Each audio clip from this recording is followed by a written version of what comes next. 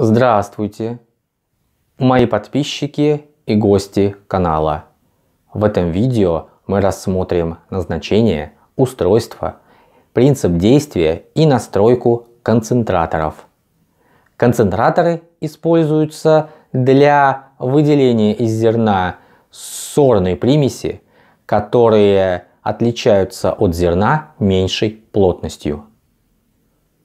На канале уже собрано достаточно большой видеоархив с видеолекциями, посвященными машинно-аппараторным схемам производства пищевой продукции, лекциям, посвященным технологическому оборудованию пищевых производств, в которых разбирается их устройство, настройка, принцип действия. А также есть лекции, посвященные тому, как студенту учиться в университете для достижения максимального уровня своего образования. Я рекомендую вам пройти по ссылкам и посмотреть эти лекции. Ссылки я оставлю в описании. Некоторые ссылки я положу в подсказки а некоторые ссылки вы увидите в конечных заставках. Рабочий процесс в концентраторе типа А1 БЗК. В концентраторах выделяют органические примеси, отличающиеся от зерна меньшей плотностью, а также семена некоторых сорных растений, например, овсюк, части стеблей, колоса и тому подобное. Основным рабочим органом концентраторов являются сета, совершающие колебательные движения под углом 15 плюс-минус 0,5 градуса к горизонтальной плоскости. При движении зерновой массы по сетам в условиях аэрации восходящим воздушным потоком происходит интенсивное разрыхление и самосортирование разнородных компонентов смеси. В результате зерно и примеси одинаковой крупности и различной плотности концентрируются в разных слоях. Тяжелые примеси опускаются вниз к ситу, а легкие всплывают на поверхность зерна. Последовательное просеивание расслоенной зерновой смеси через сито с различными размерами отверстий позволяет выделить не только мелкие и легкие примеси, но и разделить очищенное зерно по плотности для последующей раздельной очистки. Учитывая, что во фракцию примесей, имеющих меньшую плотность, попадает практически весь овсюк, концентратор успешно выполняет функции триера овсюга-отборника. Эффективность разделения зерновой смеси зависит от ряда факторов, среди которых Наиболее важными являются скорость зерновой смеси вдоль сита и кинематические параметры вибрации сит. Скорость ВЗ зерновой смеси вдоль колеблющегося сита существенно зависит от скорости воздуха ВВ, проходящего через сито и слой зерна. Исследования, проведенные научно-исследовательским институтом зерна и продуктов их переработки данного способа очистки зерна позволили установить зависимость скорости зерновой смеси от скорости воздуха. Формула представлена на слайде. При увеличении скорости воздуха до 1,3 метров в секунду величина скорости зерновой смеси возрастает от 0,3 до 0,24 метра в секунду. Затем ее рост замедляется и достигнув э, значения 0,252 метров в секунду, практически прекращается при росте скорости воздуха более 1,6 метра в секунду. Скорость воздуха, В воздуха, проходящего через сито и слой зерна определяют по формуле, представленной на слайде. Скорость воздуха, V воздуха, при этом зависит прямо пропорционально от расхода воздуха и обратно пропорционально от площади поверхности сита. В концентраторах типа А1 БЗК скорость воздуха, V воздуха, колеблется от 1,2 до 1,8 метров в секунду в зависимости от обрабатываемой культуры. На основе данных испытаний и эксплуатации концентраторов получены величины удельных нагрузок на единицу поверхности сит и потребной мощности на единицу производительности при работе с заданной эффективностью. Q равно 11,2 тонны на час метр квадратный. Удельная мощность на привод сетового кузова концентратора N удельная равна 4 сотых киловатт-час на тонну. Рассмотрим основные узлы, конструкцию и принцип действия концентраторов на примере концентратора марки А1 БЗК-18. Он состоит из следующих основных узлов. Сетового корпуса, аспирационной камеры, приемных и выпускных устройств, привода и станины. Сетовой корпус состоит из двух э, сетовых кузовов 13, соединенных между собой поперечными траверсами и стяжками. В каждом кузове установлен под небольшим углом горизонту один сетовой ярус, состоящий из двух сетовых рам 15 16 с ситами с отверстиями 2 и 9 мм. Рамы вставляют в кузов по направляющим, установленным на ее боковых стенках и зажимают упором и двумя подпружиненными поворотными рукоятками.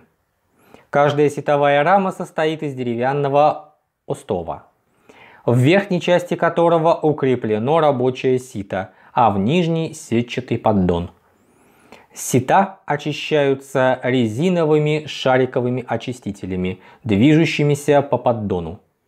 В нижней части боковых стенок кузова по всей его длине выполнены круглые отверстия, закрытые сеткой для забора воздуха под сито. Сдвоенный сетовой корпус подвешен на четырех подвесах, угол наклона которых составляет 15 плюс-минус полградуса к вертикали. Этот угол определяет направление колебаний кузова. Передние со стороны приема подвески отличаются от задних наличием цилиндрической пружины, удерживающей подвески и корпус в заданном положении. Аспирационные камеры установлены неподвижно над каждым сетовым кузовом и укреплены к станине. Каждая камера разделена на 14 независимо регулируемых секций. Для этого в верхней части каждой секции установлен регулятор 9 настройки воздушного режима над каждым участком сита. Необходимое разрежение в концентраторе устанавливается дроссельными заслонками 7, установленными в аспирационных патрубках 11 с помощью регуляторов 12. Разрежение в каждой аспирационной камере контролируют манометром 8. Для наблюдения за работой концентратора и удобства регулирования воздушного режима боковые стенки аспирационных камер имеют смотровые окна, а рабочее пространство освещается светильником. Приемное устройство 3 каждого кузова состоит из патрубка 5, соединительного гибкого рукава 4, приемной коробки с клапаном, обеспечивающим равномерное распределение зерна по всей ширине сит – Приемное устройство с торцевой стороны машины закрыто прозрачной съемной дверкой. Выпускные устройства выполнены раздельно для сходов и проходов. Сходовая фракция, отходы, выходит через регулируемую щель между двумя вертикальными планками, установленными под углом, на сходовом конце сита и образующими сужение. Расстояние между планками регулирует винтовым механизмом 10 с рукояткой. Сходовая фракция выводится через выпускной патрубок, установленный в станине. Мелкие примеси, проход, выводятся через выпускной патрубок в воронку самотечной трубы, а очищенное зерно поступает в сборник под второй сетовой рамой, где установлен поворотный клапан 14 для разделения зерна на две фракции по плотности. Привод сдвоенного сетового корпуса осуществляется от двух электромеханических вибраторов 2, конструкция и установка которых аналогичны применяемым в камнеотделительных машинах типа R3 БКТ. Станина сборная сварной конструкции предназначена для размещения всех основных узлов концентратора. Технологический процесс в концентраторе типа А1БЗК осуществляется следующим образом. Зерно через приемный патрубок и приемное устройство поступает на первую сетовую раму равномерным слоем. Вследствие направленных колебаний корпуса и аэрации продукт при движении по первой раме ситами с отверстиями диаметром 2 мм псевдоожижается и самосортируется. Тяжелая фракция концентрируется в нижней части слоя, а легкая в верхней. На первой ситовой раме проходом через сито отделяются мелкие примеси. При движении зерна во второй ситовой раме с ситами с отверстиями диаметром 9 мм просеивается сначала тяжелая фракция зерна из нижнего слоя, а затем более легкая. Разделяются тяжелая и легкая фракции зерна поворотным клапаном, установленным в сборнике под второй ситовой рамой. С ходом сит идут отходы, трудно отделимые легкие примеси, том числе овсюк. Проход через первую сетовую раму и сход со второй объединяют и направляют для обработки отходов. Тяжелую фракцию зерна подают в триер куколеотборник, легкую вначале в обоечную машину, а затем объединяют с тяжелой и направляют в триер. Эффективность работы концентратора зависит от равномерности подачи и распределения зерна по ситам, настройки аспирационного режима, а также от кинематических параметров движения сит. Для обеспечения равномерной подачи исходного зерна рекомендуется перед машиной устанавливать регулятор потока, а над ним бункер вместимостью 1,5 кубометра. Настройка и регулирование концентраторов заключается в следующем. Перед пуском машины проверяют затяжку резьбовых соединений. Особое внимание следует обращать на правильность установки вибратора и подвесок под углом 15 плюс-минус полградуса к вертикали. Направление вращения роторов должно быть навстречу друг другу в соответствии со стрелками на корпусах вибраторов. При работе машины на холостом ходу не должно быть несвойственного шума, стука и вибраций. Проверяют также амплитуду колебаний. При необходимости амплитуду колебаний сетового корпуса регулируют изменением взаимного положения грузов-дебалансов, которое должно быть одинаковым на обоих концах вибратора. Амплитуду колебаний определяют по регулировочному диску – установленному на боковых стенках корпуса. Методика настройки амплитуды колебаний и регулировки регулировочного диска аналогична той методике настройки этих же параметров для камнеотборочных машин. Вы можете посмотреть методику настройки амплитуды колебаний с помощью регулировочных дисков в видео, посвященном камнеотборочной машине. Ссылку на видео вы можете найти в описании или в подсказках. Не разрешается работа концентратора при амплитуде более 3 мм. Шкала дисков выполнена в единицах размаха колебаний, то есть не более 6 единиц. В рабочем режиме под нагрузкой оптимальную толщину слоя зерна по всей просеивающей поверхности обеспечивают регулировкой аспирационного режима каждой секции таким образом, чтобы слой слегка кипел по всей поверхности сит, без прорыва на отдельных его участках. Толщину слоя стабилизирует регулировкой сходовой щели на второй ситовой раме. Сужение щели должно обеспечить такую толщину зерна в сходовой части сита, чтобы перфорация сит не была видна. При наличии в сходовой фракции большого количества полноценного зерна клапан в последней секции можно полностью закрыть. Если этого недостаточно, то воздушные регуляторы в 4-5 последних секциях должны быть прикрыты. Разрежение в концентраторе 600 паскаль контролируют по манометру и регулируют дроссельной заслонкой.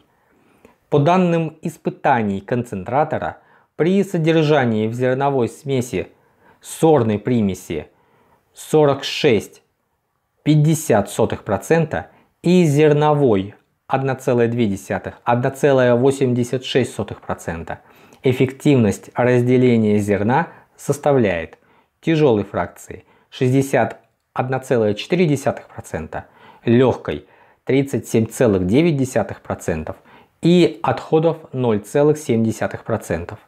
Натура и масса тысячи зерен выделенных фракций имели соответственно следующие значения. Тяжелой фракции зерна 824 грамм на литр и 35 грамм. Легкой 817 грамм на литр и 31 грамм. И отходов 633 грамм на литр и 26,2 грамма. Эффективность очистки тяжелой фракции от сорной примеси составила 74%, от зерновой 62,6%, а извлечение длинных примесей, овсюк и тому подобное в отходы составила 47,3%, коротких 6,2%. В концентраторе сочетаются возможность визуального контроля рабочего процесса и оперативного его регулирования.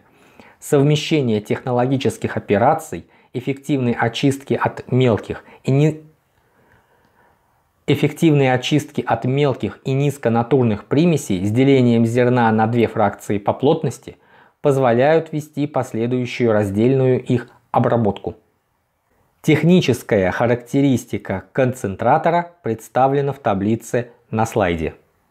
Вы можете остановить воспроизведение видео, чтобы ознакомиться с нею подробнее. Спасибо вам за внимание. Вы посмотрели лекцию, посвященную концентраторам, их устройству, настройке и принципу действия. Пожалуйста, делитесь этим видео а также подписывайтесь на мой канал, ставьте колокольчик уведомления, пишите ваши комментарии с вопросами, если они у вас возникли. Желаю вам всяческих успехов и до новых встреч!